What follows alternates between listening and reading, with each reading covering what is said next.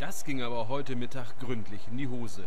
Der Fahrer des 40-Tonnen-LKW der Firma M&S Transporte wollte 40 Tonnen Sand auf ein Spülfeld in Hamburg-Moorburg bringen.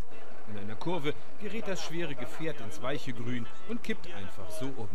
Der Fahrer erlitt einen Schock, musste mit dem Rettungswagen ins Krankenhaus gebracht werden. Die Feuerwehr schickte ein großes Aufgebot an Kräften zur Einsatzstelle.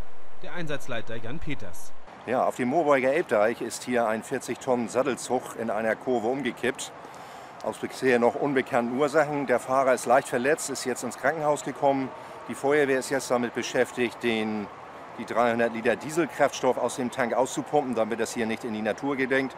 Und anschließend werden wir dann zusammen mit einer Privatfirma diesen Sattelzug aufrichten, weil wir im Moment das Problem haben, dass er sich rechts in die Bankette immer weiter hineindrückt und wir haben daher Angst, dass es nur unter großen Schwierigkeiten möglich sein wird, ihn dann dementsprechend zu bergen.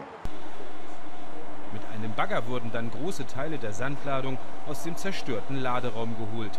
Ein Bergungskran der Feuerwehr angefordert, 350 Liter Diesel umgepumpt.